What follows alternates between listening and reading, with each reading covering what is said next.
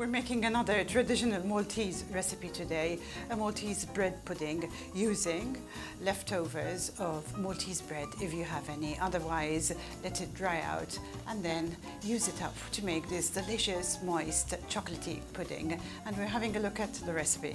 For my Maltese bread pudding, known as pudina, I'm using a loaf of Maltese bread, 4 tablespoons of cocoa powder, 150 grams of butter, or 100 grams of coconut oil, the zest of a quarter of a lemon, the zest of a quarter of an orange, 4 eggs, 4 drops of vanilla extract, 25 grams of sultanas, a quarter of a teaspoon of mixed spice, a quarter of a teaspoon of cinnamon, 25 grams chopped dark chocolate, 2 tablespoons of jam, 125 grams of sugar, a shot of your favorite liqueur or you can also use orange flower water, 25 grams of candied peel, 50 grams of coconut, 75 grams of pure ground almonds and 70 grams of custard powder. Then you will also need enough water or milk to soak the bread. I'm using a Maltese loaf. It's best to make this pudding using the authentic Maltese bread. And I've let this one dry up and cut it up.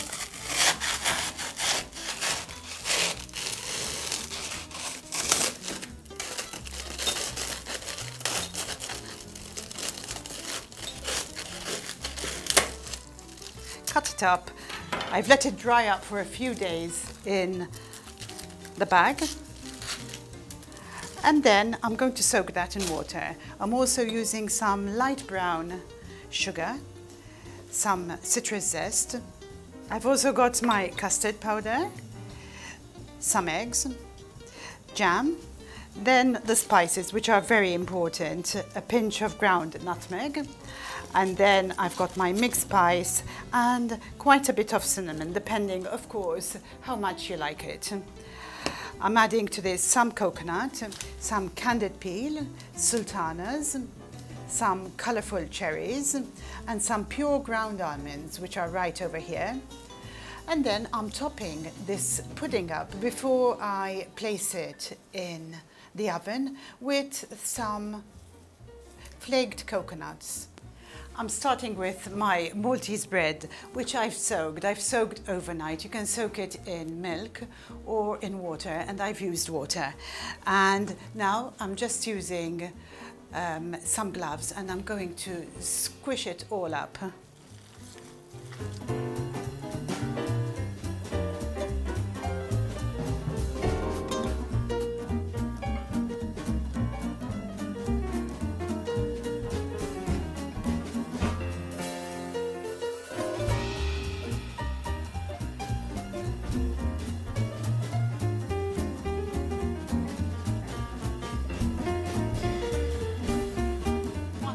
Mixture appears quite uniform, I'm going to drain the water out. So I'm starting with my bread and placing it in a large bowl.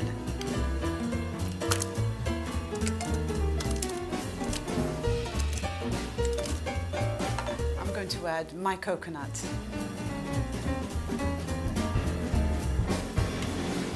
Next, I'm adding my ground almonds.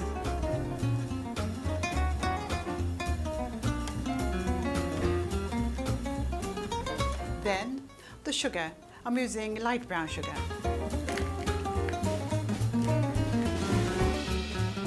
You can of course use stevia for this recipe. And then the spices. I'm starting with some ground cinnamon.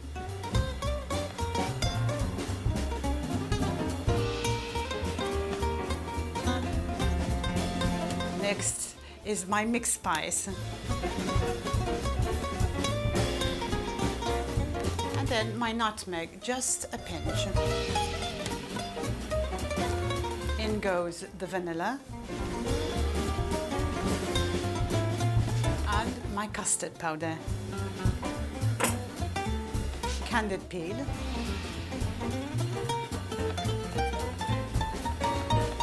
I'm adding my cocoa powder.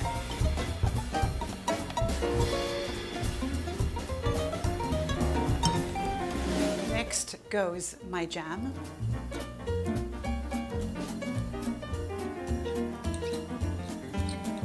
And some cherries.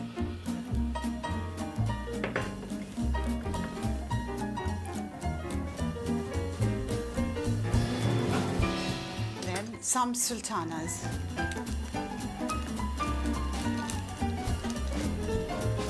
My citrus zest.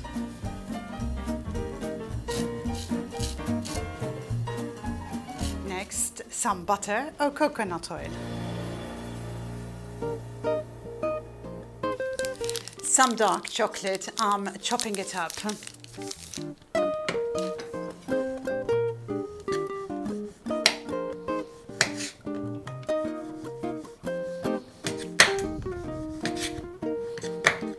I'm adding my chocolate.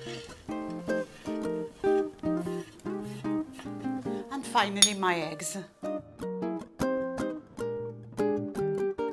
Going to mix everything together.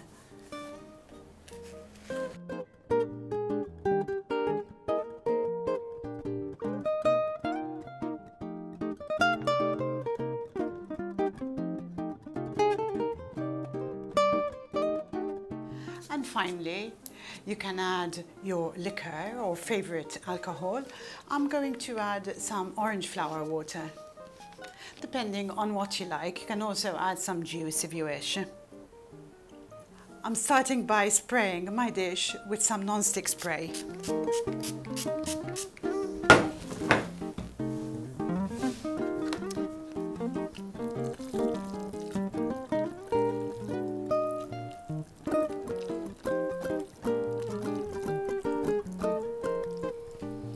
You can bake it as it is, and in this case, you'll need a temperature of 180 degrees.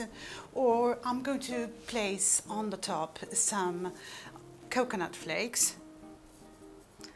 And in this case, I need a lower temperature of about 150 degrees centigrade so that the top does not get burnt. This is ready to go into the oven. I need to leave it in the oven for about 45 minutes on a low temperature and then allow it to cool completely before I cut it up. Going to have another quick look at this recipe with thanks to Renato Briffa, who's a senior lecturer at the Institute of Tourism Studies, a specialist in Maltese sweets. And this recipe was passed on to him by his dad, who owned a confectioner's in Old Mint Street, Valletta in the 50s. And here's the recipe again. For my Maltese pudina today, I used a loaf of Maltese bread. I added 4 tablespoons of cocoa powder.